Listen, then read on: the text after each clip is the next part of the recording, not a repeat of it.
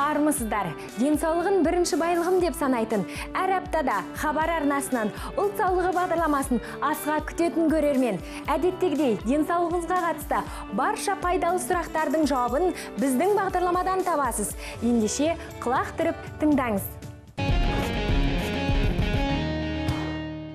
Шапалақтың да пайдасы бар. Гиппократ антына адал ақ халаттылар. Жаңа туған сәбиді перзентханада ұзақ ұстауға бола ма? Тіс күтіміне қаншалықты көңіл бөліп жүрсіз? Жақында елордада офтум атты алғашқы лазерлік хирургия брифинг өтті.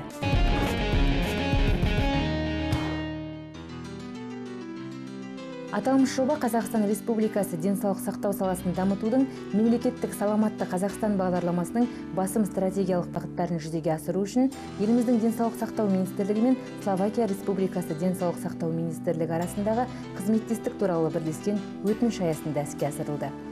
Республикалық диагностикалық орталықта үлкен операциялық блок қатар, қатарға қосылды. Европалық стандартқа сай. Содан кейін екінші кейінгі үлгіде шығып жатқан эксимер лазер деген аппарат қондырғы емдеу емдеу қондырғысы әкелінді диагностикалық қондырғылар әкелінді. Үшіншіден осы инвестиция бағытында біздің республикалық диагностикалық орталықтың дәрігерлері шетелге барып словакия республикасына барып оқыды. Біздің осы жобаның нәтижесінде күніне екі жүзге тарта хирургиялық офтальмохирургиялық оталар жасалады деп көзделіп отырмыз. Бірінші кезеңде осы миопия гиперметрения астигматизм сырқаттарын емдейді. Кейінгі кезеңдерде осы жобаның кейінгі кезеңдерінде катаракт глаукома сияқты күрделі сырқаттарды емдеуді көздеп отырмыз. Әлемдік денсаулық сақтау ұйымының мәліметтері бойынша 285 миллион адамға дейін көздің көру қабілетінің бұзылуымен ауырады. Олардың 39 миллионы соқырлықпен зақымданған. 246 миллионы нашар көреді. Соңғы уақытта азия елдері жастары арасында миопияның таралуы өсіп отыр. Онда мектеп оқушылардың 80-90 пайызы алыстан көрмеушілікке ұшыраған. Қазіргі хирургиялық стоматология мен бетшақ хирургиясы ауыз қуысына жасалатын күрделі операциялармен қоса қатерлі ісіктердің алдын алып күрделі пластикалық операциялармен айналысуда. Толығырақ денсаулық және қоғам айдарында.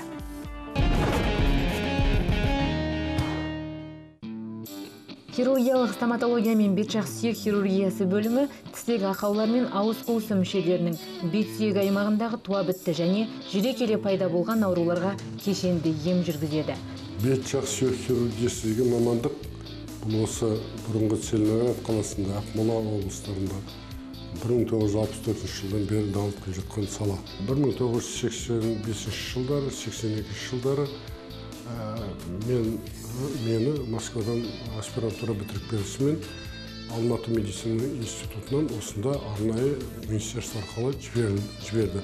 Осы жерде сол бетшақ хирургия мамандығын оқыту жалпы дәрігерлерге және мына педиатр дәрігерлерге оқыту процесіне осы жерге соны әрмен қарай жалғастыруға және әрмен қарай дамытуға бетшақ хирургиясы жеке бөлім ретінде 2012 жылы тұңғыш рет алматы көпбейінді клиникалық ауруханасының жанынан ашылса астана қаласында 2013 жылы нөмірі екінші қалалық балалар емханасында арнайы бөлім ретінде өз жұмысын бастады. Аталған аурухана базасында жоғары технологиялық құралдармен жабдықталған операция бөлмесі магнитті резонанстық және компьютерлік томографиялары бар сәулелі диагностика физиостоматологиялық бөлімшелері бар. Хирургиялық науқастарды қабылдайтын бөлім бұл бөлімде жедел жәрдем көрсетіп жедел жәрдеммен әкелетін науқастар бар реанимациялық зал бар. Реанимациялық залдарда мысалы міне науқасты қабылдап жатыр. Мысалы осы науқас бала қандай жағдаймен келіп жатыр? Мүмкін аллергиялық реакциясы болған шығар не болмаса анафилактикалық реакция болғанса бұл балаға соны зерттеп реанимациялық шаралар қолдану мүмкін. Егер реанимация шаралар қолданылмаса онда хирургиялық шаралар келесі кабинетте науқасты не госпитализация науқасты жатқызатын жерге апарады не болмаса өте сондай қиын жағдай болатын болса науқастың реанимациялық бөлім бар бізде. Соған апарып реанимациялық шаралар қолданады. Бұл міне бір біздің осы аурухананың ең ерекшелігі төменгі хирургиялық қабылдау секциясында осындай реанимациялық зал бар. Мұнда арнайы. Жедел жәрдем иә жедел жәрдеммен келген адамға өмірі сақтап қалатын аппаратура бәрі осы жерде дайын тұр дәрігерлер врачтар үш секундта жетіп келеді біздің дәрігер қабылдап жатыр реанимациялық жағдай жоқ шығар науқасты басқа хирургиялық бөлімге апаратын науқас аталған бөлімнің ашылғанына биыл бір жыл осыған орай бет сүйек және тіс жақ сүйек жүйесінде патологиясы бар науқастарға кешенді түрде медициналық және хирургиялық көмек берудің қазіргі жағдайы мен келешегі тақырыбында халықаралық ғылыми тәжірибелік конференция болып өткен еді. Конференцияға бет жақ сүйек хирургиясы саласының дүние жүзіне әйгілі мамандар шақырылды. Бет жақ сүйек хирургтардың ұсыныстарымен және олардың сұрауларымен осы екінші қалалық балалар ауруханасында саясында және медицина университетінің қолдауымен осы жерде халықаралық конференция өткіздік. Бет жақ сүйек проблемаларын қалай шешіп қандай жағдайда қалай шешу керек біздің қазақстанда және еліміз бұл конференцияға бірталай шетелдің адамдары шақырылды прибалтикадан кісілер келді ресейден бірталай кісілер келді жанымызға қырғызстаннан келді және мынау өзіміздің қазақстанның білікті білікті мамандары келіп алматыдан қарағандыдан семейден ақтөбеден келіп көптеген мамандар осы жерде бірталай өздерінің жаңа істеп жатқан жұмыстарын көрсетіп және де қандай бүгінгі жағдайда бет жақ сүйек дамуына қандай жолдар бар екенін ізденіс жасады конференция аясында бет жақ сүйек аймағында туа бітті және жүрекеле пайда болған ақаулары бар балаларға хирургиялық көмек көрсету бойынша шеберлік сабақтары жүргізілді. Екі күн бойы бет жақ сүйек аймағында патологиясы бар 12 науқас балаға шеберлік сынып операциялары жасалып оған астана қаласының бет жақ сүйек хирургиясы саласының жас мамандары қатысты. Операция барысы онлайн режимде алматы және петропавл қалаларында. Сонымен қатар ұлттық ғылыми медицина орталығында астана медицина университетінде көрсетілді. Телемедициналық онлайн консультациялар үшін мұнда тұңғыш рет поликом жүйесі енгізілді. Не удаляется отверстие сезбейсің ғой давай көзің отсюда қойғызым речевой сезбейсің вдох сделай. Вот видите мы удаляем совершенно даже глаза не моргнуло. Это что называется экстрасенсорный метод. Дәрігерлік препараттарды қабылдай алмайтын ауыр түрдегі аллергоанамнезге ұшыраған және хирургиялық манипуляциялардан жүрексінетін 12 науқасқа профессор нұрлан базарбаев бастаған қырғызстаннан келген дәрігерлер экстрасенсорлық жансыздандыру тәсілін қолдану арқылы адекватты медициналық көмек көрсетті. Біздің елімізде бұрынғы кездерде қазақстанда оқу оқып осында жұмыс істеген базарбаев нұрлан раимович деген қырғыздың жігіті қырғызстаннан шақырып еді сол келді.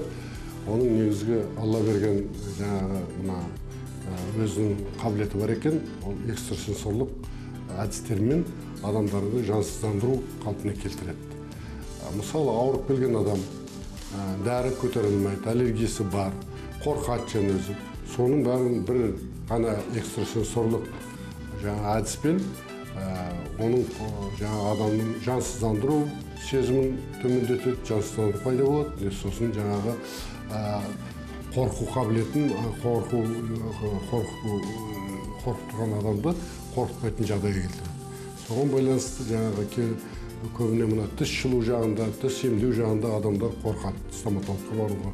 Соған байланысты ол кісі осы жерде бірталай біздің жинап қойған сондай адамдарымызға мастер класс өткізіп көмек көрсетті.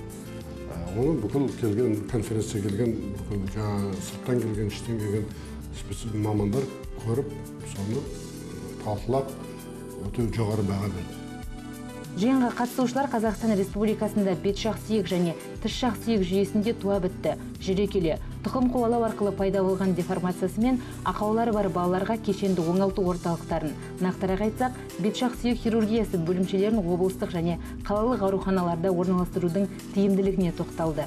Сонымен қатар қазақстан республикасы бет жақ сүйек хирургиясы қызметінің даму тұжырымдамасы мен бағдарламасын денсаулық сақтау және әлеуметтік даму министрлігіне бұйрық ретінде қолдауына ұсыныс жасалды. Денсаулықты реттеуде медицина қызметкерлерінің яғни ақ абзал жандардың атқарып жүрген жұмысы маңызды. Арқалап жүрген жүгі ауыр. Алда гиппократ антта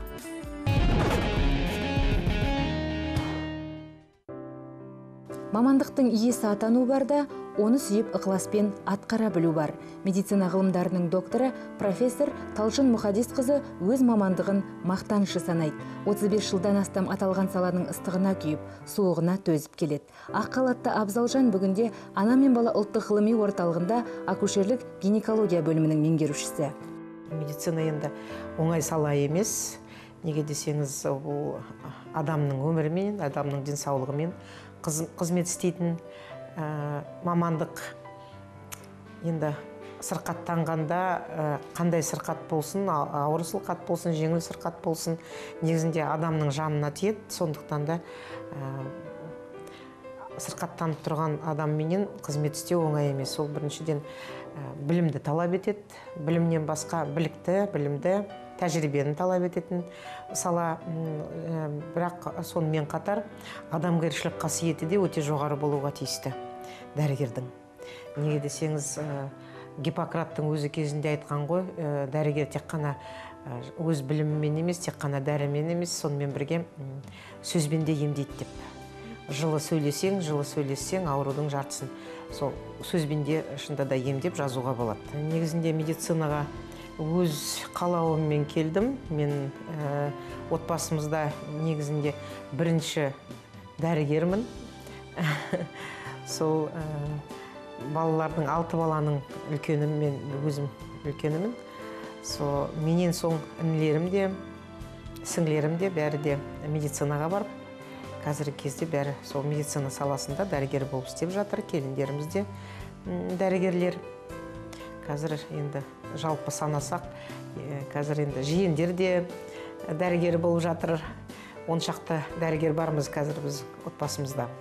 1978 жылы ақтөбе медициналық университетін тәмамдаған акушер-гинеколог алғашқы еңбек жолын батыс қазақстан облысы ақжайық ауданының ауруханасында бастайды. 1997 жылы мәскеуде докторлық диссертациясын қорғап 2002 жылы медицина ғылымдарының профессоры атағын алады. Менің салам енді ә, жүкті әйелдерменен негізінде әйелмен және кішкентай нәрестелермен байланысты акушер гинеколог болғандықтан басынан бастап осы өзім осы мамандықты медицина институтына барғанда акушер гинеколог болам деп бардым бірден. Сондықтан ә, өз жұмысымды өте жақсы көремін. Қандай қиын болғанда да жақсы көремін. Негізінде енді біздер дәрігер болғасын қиын жағдайлар болмай тұрмайды.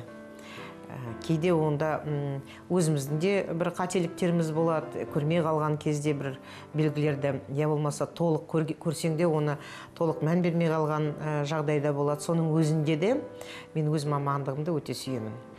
Өте сүйемін жұмысқа жақсы көңілмен келемін. Күн санап дамып келе жатқан медицинаның жетістігі ана болу бақытынан күдер үзген жандарға мол мүмкіндік сыйлауда. Бұл жайлы маманның айтары. Бар ә, қандай ә, жаңағы құрал жабдықтар бар қандай аппаратура бар соның бәрі осы жерге әкелінді.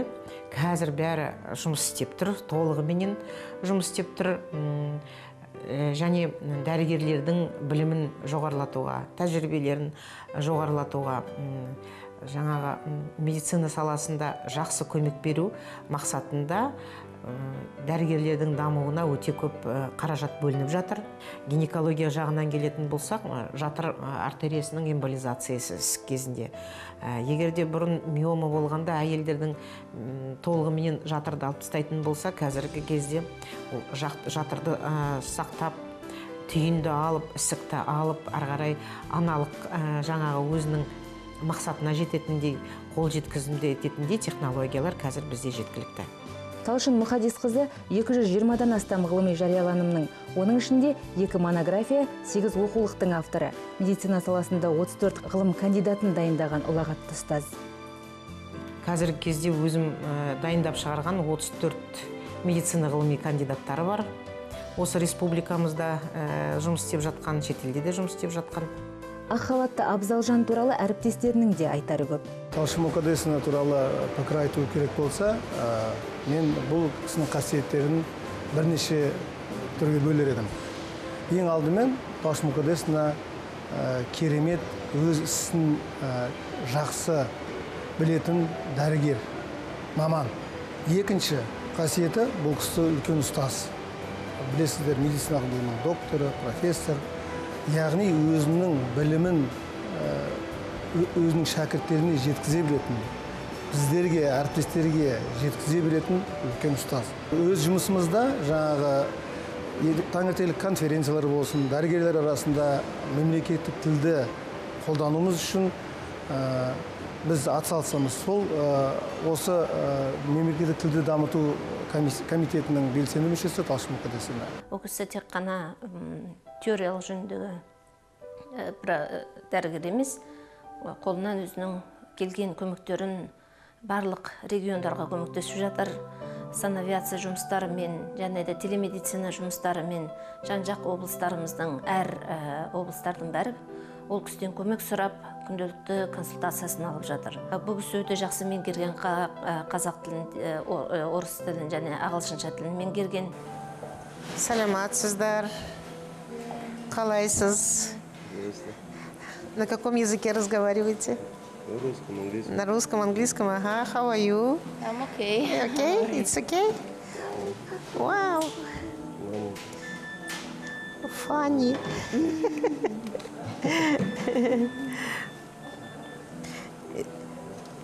Is it your first baby? Yes. Yeah. Ah, how many years old are you? Me? Yeah. 37. Oh, okay.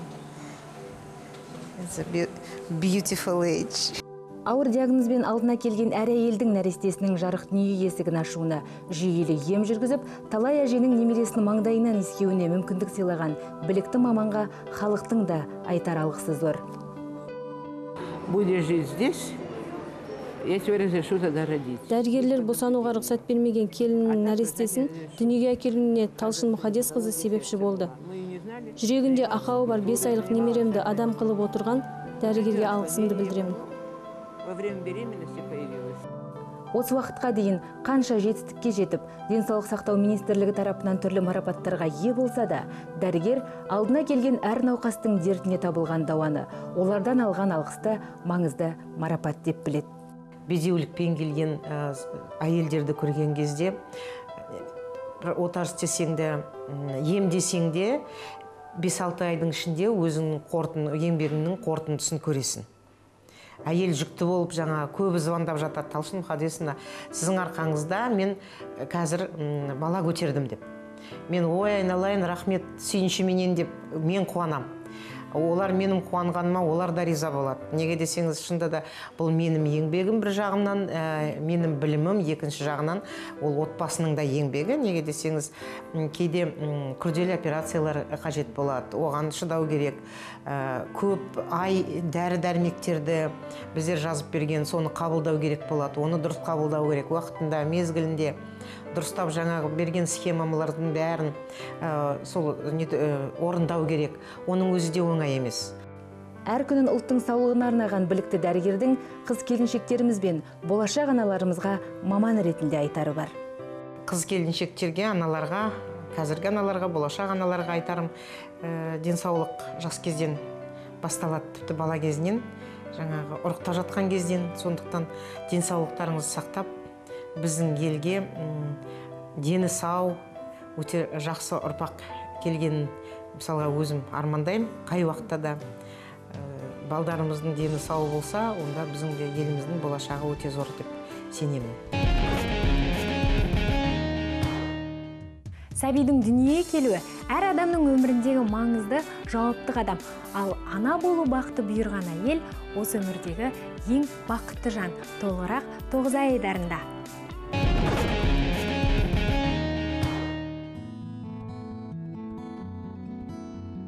Елімізде күн сайын мыңнан астам сәби жарық дүние есігін ашады. Күн сайынғы көрсеткіш осындай болса жылына 400 мыңға жуық нәресте дүниеге келеді. Өлім жітім төмендеген соңғы бір жылдың өзінде елімізде бала туу көрсеткіші 25 пайызға өсіп отыр. Бұл қуанарлық жайт.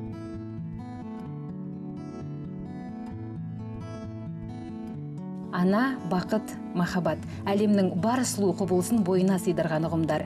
Әйел бақыты деген түпсіз түсініктің бірі бала сүю перзентті болуда жатса керек. Осы ретте ана танып бөбегін бауырына басқан бақытты жандардың қуанышын сөзбен жеткізу мүмкін бе? Бәрі әйелдерге осы қуанышты тілеймін. Бұл перинаталдық дәрігерлеріне өте көп рахмет. Егер бала туу сәтті өтіп сәби мен ананың жағдайы жақсы болса оларды үшінші төртінші күні перзентханадан шығарады. Сәлеметсіз мамасы. Бауы берік болсын. Рахмет. Үйге барамыз ба?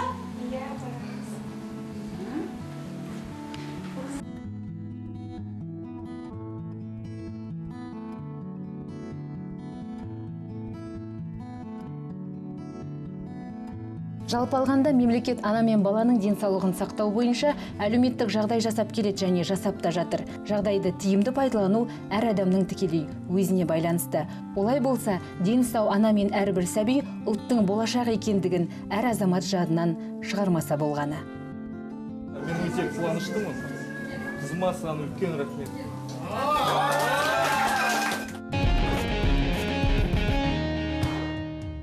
Маржандай тізілген әдемі тіс адамның көркі ғана емес сонымен қоса денінің саулығының кепілі десек те артық айтқанымыз емес. Алдағы пайдалы кеңесіміз сіз үшін.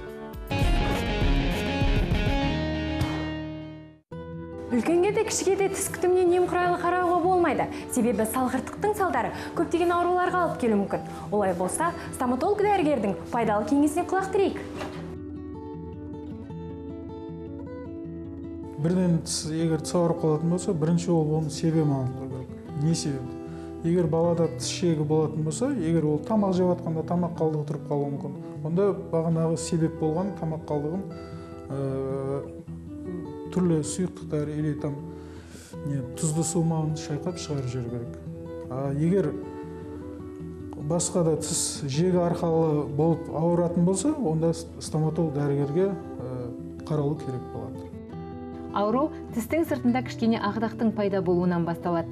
Дер кезінде дәрігерге көрінбесе процесс тіс қуыстарының жұмсақ тіндеріне таралып тістің эмалі босап жұмсара бастайды. Тіске зиян кетіретін енді жаңағы ә, ыстық тамақ ішкен кезде үстінен су суып ішеді ғой сол эмальді эмаль жарылады. Сондықтан көбінесе ыстыққа суыққа реакция болады дейді содан жаңағы тәтті жеуден болады. Тәтті жеу енді болады адамдарға бірақ содан кейін тісті хотя бы бір шайса либо жуса жақсы болады. Ә, зубочистка дейді көбі сіріңкемен тазалайды тістің айттым ғой арасын ашып тастайды тіс күтімінің негізі? Күніне екі рет жуу таңертең кешке.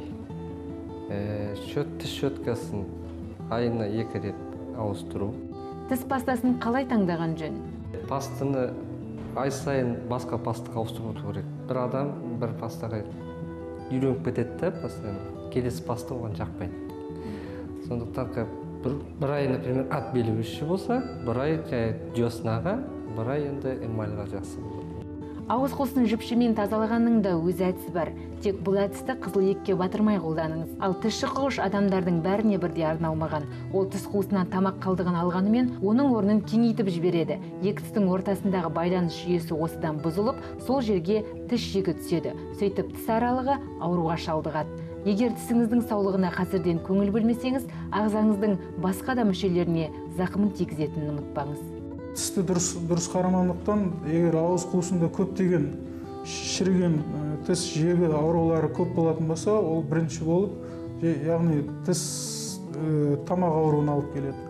Тамақ ауруынан кейін барып қан тамыр ауруларын алып келуі мүмкін ары қарата егер ә, осложнение болып жатса ол уже барып жүрек ауруларына да асқазан ауруларына да алып келеді.